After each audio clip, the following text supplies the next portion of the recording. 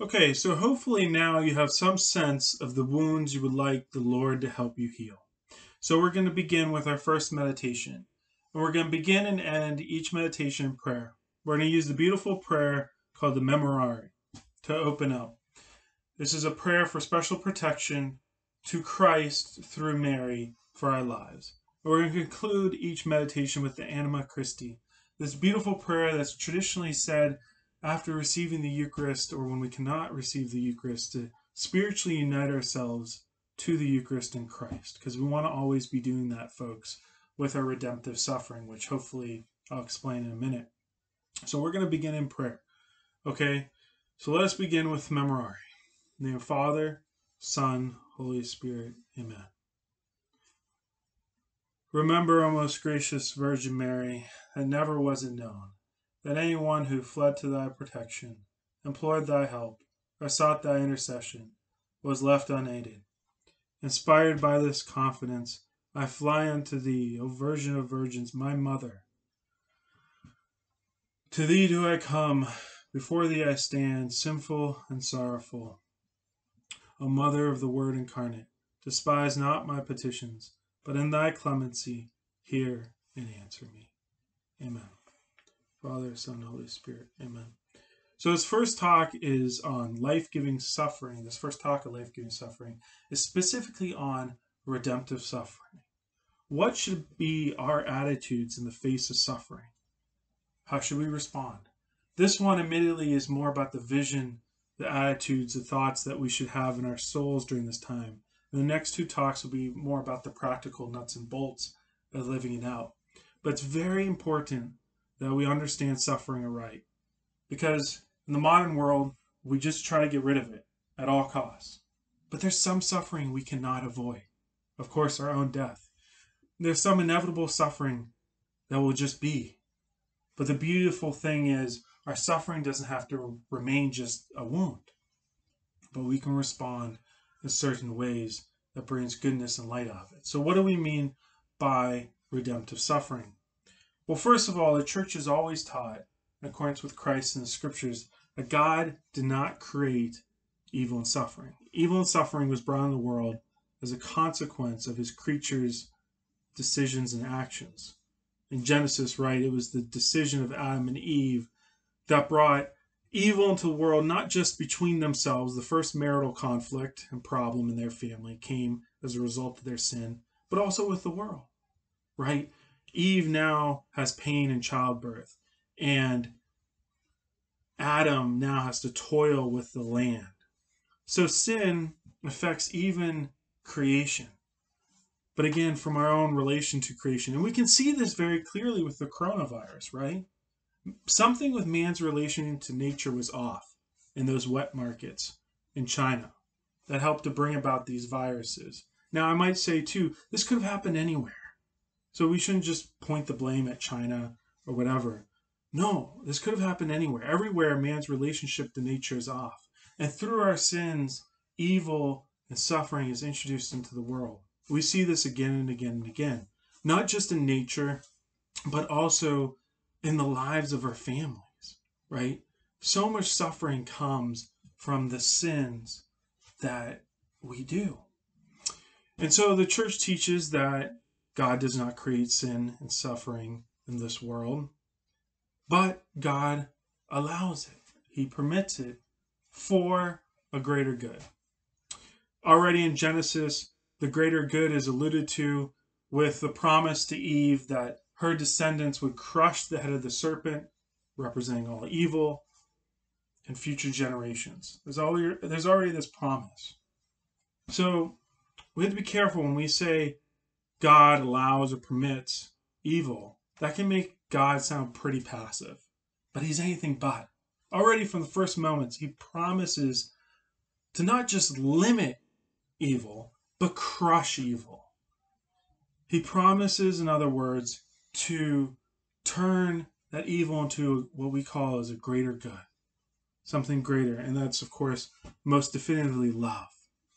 We read very beautifully in Scripture this Bible verse, which is a promise that uh, God doesn't just simply remain passive. And it's from Revelation chapter 21, verses 4 to 5. It's very beautiful. I'll read it to you. Quote, He will wipe away every tear from their eyes, and there shall be no more death, nor mourning, wailing, or pain, for the old order has passed away. The one who sat on the throne said, Behold, I make all things new. God is active, responding to the suffering. He's not passive. He's not the absent father who just is in the back corner, not doing anything about this, okay? No, he's transforming it all to good. As St. Paul beautifully says, another beautiful verse, sort of summing up redemptive suffering, Romans 8:28, we know that the Lord works all things to the good for those who love God. All things, including the suffering. Another Bible verse I love on redemptive suffering is 1 Peter 2:24.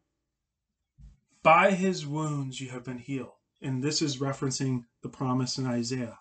Again, by his wounds you have been healed. Again, he's taking suffering, the wounds, bringing something good out of them, healing. By his wounds you have healed. This is actually our motto on life giving wounds. It comes from this Bible verse. This promise goes back to Isaiah, is also in, uh, fulfilled in Christ's uh, cross and resurrection. Notice here, suffering, the wounds, can lead to something positive healing. This turns on the head the secular wisdom that suffering is just pointless, meaningless. Now, don't get me wrong, folks. We should try to alleviate suffering as much as possible. But there's some suffering we just can't get rid of. We're finite. We're all going to die one day. But even in this suffering, this suffering that's inevitable, I can't get out of, like this quarantine we're in, we can turn that to the good. Christ is trying to do that right now in our lives. He's anything but passive. And with this Christian meaning of suffering in mind, John Paul II, in his beautiful letter on suffering called Salvifici Doloris, which I really encourage you to read, he says, quote, suffering is present in the world to unleash love in the human person. But this can only make sense in light of a Christian view of suffering, of redemptive suffering, which is utterly unique to Christianity. And it's it's what John Paul II calls a boundary experience. A boundary experience is an experience between two realities. Suffering is this boundary experience. On one hand, a person who suffers experiences a trial, a pain, suffering, something that's not good. But on the other hand, John Paul II says, in that suffering can come what St. Paul would say is a birth, a birth of power and weakness. A birth of power and weakness. That's when St. Paul writes, quote, I will all the more gladly boast of my weakness, that the power of Christ may rest upon me. 2 Corinthians 12 9. In other words, there's a power that's made perfect in weakness. And this power, St. John Paul II teaches, is love. That's why so many of the saints' greatest lessons in life, their most eloquent expressions of love and life, came when? At their death, their martyrdom. Or think about St. Maximilian Kolbe. What's the one thing you probably think of when you think of him? Was him offering up his life for the father of a family and giving his life for them. The most eloquent expression of love came in his death. That's because when we unite our suffering, and this is the key, we have to unite our sufferings to the suffering of Christ. And when we do that, suffering can become a boundary experience. It doesn't have to just remain a wound, just a trial of pain, but there can be a birth of this beautiful power within weakness, this power of love. But we have to unite our sufferings to the Lord. This is key to redemptive suffering, is not just accepting suffering, but turning into an offering to God. Because all suffering is a question to God. And only God's answer can answer that question of suffering. And God's ultimate answer to suffering, which, by the way, when we say we unite our sufferings, we're specifically saying we're uniting our sufferings to Christ in the Eucharist. The Eucharist makes present for all time God's paschal mystery of the dying and the rising, the resurrection of Christ. all time, he says, I suffer with you. Never for a moment will I leave you, but I will suffer with you. And so the Eucharist and Christ's life, made present for all time, now ushers in this new, unheard of compassion. Compassion literally means calm with passion, suffering. This new suffering with us. And when we unite our sufferings to Christ, specifically through the Eucharist, suffering becomes His. Now, all of a sudden, suffering is suffering with God and never alone. We are never alone, ladies and gentlemen. Even if we were to die in a hospital alone, we are never alone. Christ is there with us, and He can transform that suffering if we unite to Him into redemption and love. By His wounds, you are healed, and then your wounds can also become healing. So, yes, in suffering, there's this weakness, but if united to Christ, our suffering can become a power, a strength. John Paul II says, in particular, this type of suffering means to become particularly susceptible and open to workings of God in your life. He says boldly that it is suffering more than anything else which clears the way for grace and transforms human souls. There it is. And Pope Francis teaches something very similar about redemptive suffering. He says very beautifully that our, wo- our wounds are points of intimacy with Christ. Think that our wounds are points of intimacy with Christ. Our wounds are points of intimacy with Christ. Do you approach your wounds in this way? Do you give them to the Lord? Do you allow them to draw you closer to Him? Because redemptive suffering is turning the heartache of pain into intimacy with the Lord and then with others as well. And this is the big teaching and the beautiful teaching of the church through the ages, lived by the saints, lived by Christ, is that Christ didn't come to take away all suffering from this life, but he came to fill all suffering with his presence. Let me repeat that again. Christ didn't come to take away all suffering from this life, but to fill all suffering with his presence. So that, yes, in the next life, there'll be more, no more tears and wailing and mourning. But the goal in this life is to fill our sufferings with his presence. How can we do that? My wife, Bethany, very beautifully said, to start to do this, it's like you're in a dark room. And you didn't know because your eyes are adjusting that Christ was there all along with you. But you didn't know. It's just this dark room of suffering. You're fumbling around, whatever. And slowly you discover that there's this person in front of you. And your eyes adjust to the darkness and you see Christ. My wife so beautifully said that to begin to allow the presence of Christ in our suffering, we have to what? Accept the darkness so that our eyes could slowly adjust to see Christ's presence. So beautiful. It's always stuck with me. We've had a great number of sufferings in our life that we've had to deal with, more of which I'll share later. But first, we have to accept the darkness, the suffering, by praying and offering it to God, uniting our sufferings to God, and ask Him, Lord, help me to see your presence in this. Help me to adjust my eyes in this darkness to become more aware of you. Because you are here. Truly, you're here. So it's true that some of our sufferings may never go away. That's why we say life giving wounds. There's some wounds that may never go away. Uh, maybe some family of origin issue, maybe a disability, maybe a sickness, maybe a death. But a wound never just has to remain a wound. We can respond to it with greater faith, hope, love, joy, knowing that Christ is with us and responding in ways that Christ wants us to respond. And if we do that, we can proclaim with the saints like St. Therese of Lisieux. I loved her line everything is grace.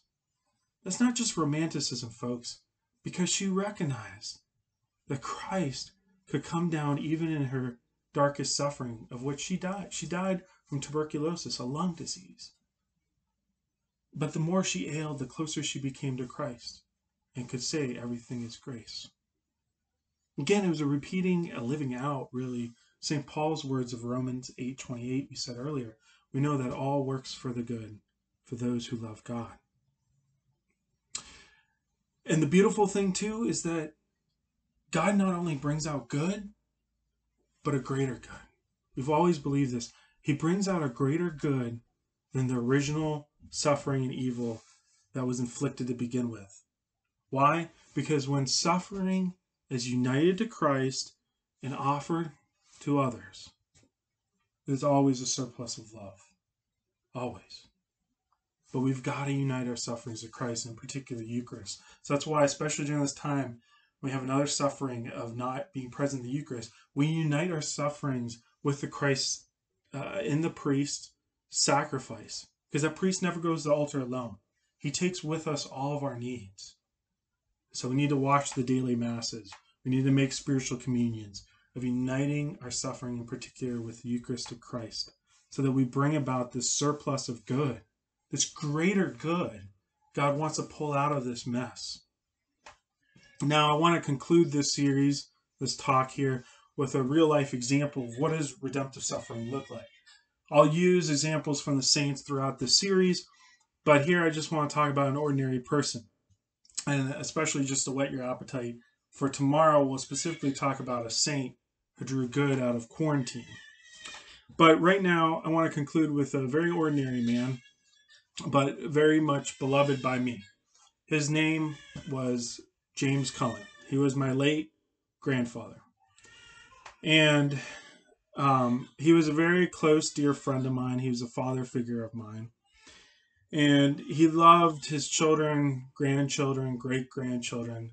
He was married to my uh, my grandmother for over 64 years, a very faithful, holy marriage, just a role model all along. Well, in 2010, he was diagnosed with pancreatic cancer.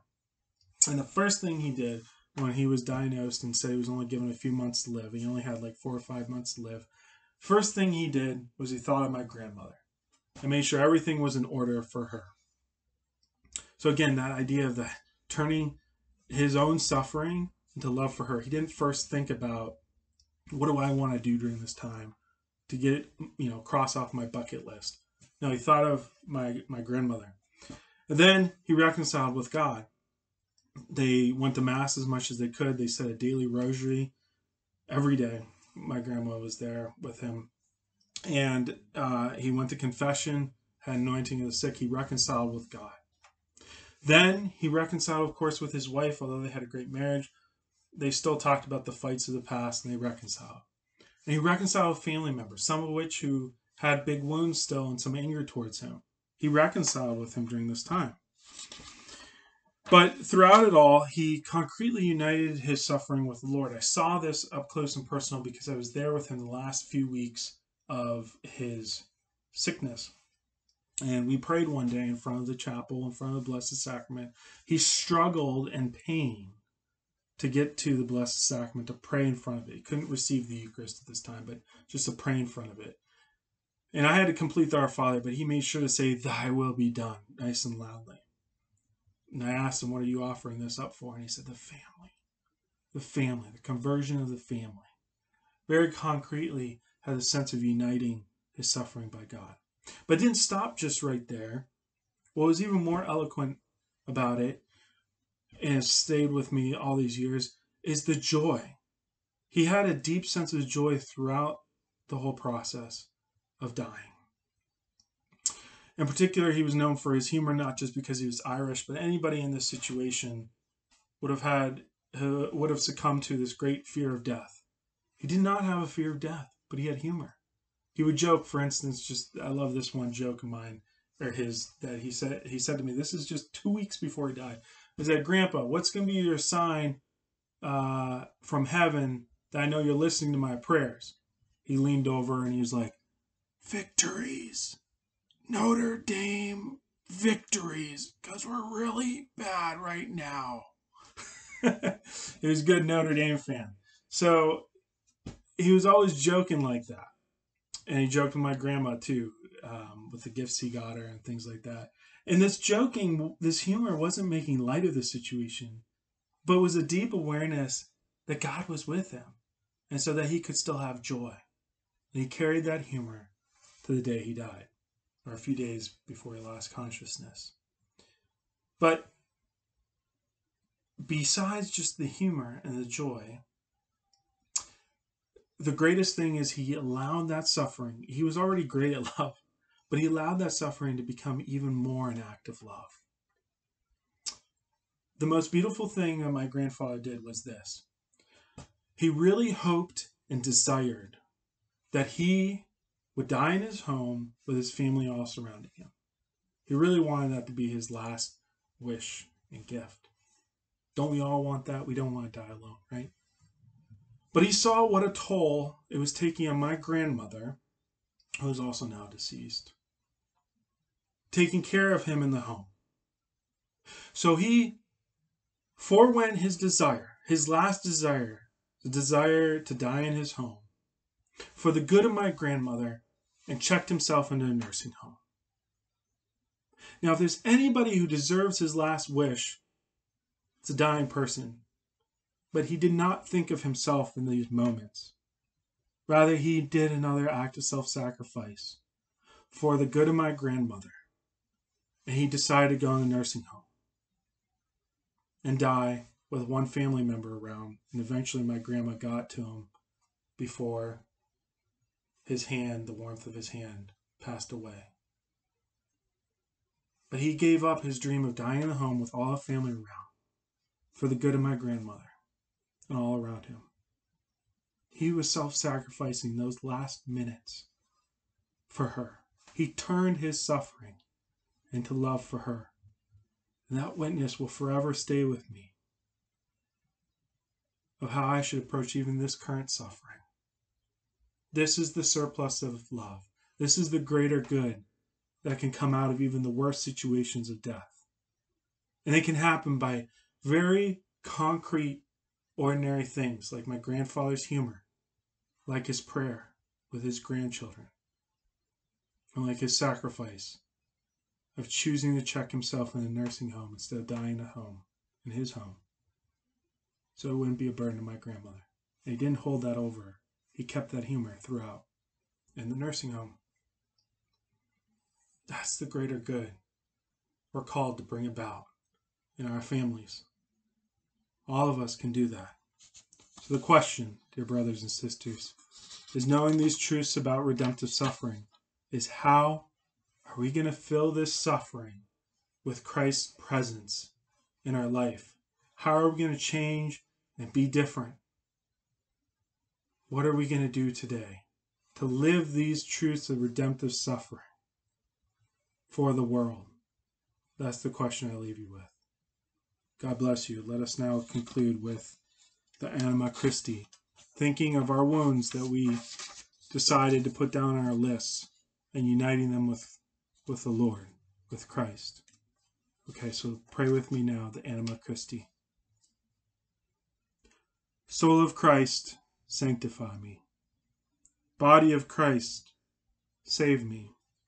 Blood of Christ, inebriate me. Water from Christ's side, wash me.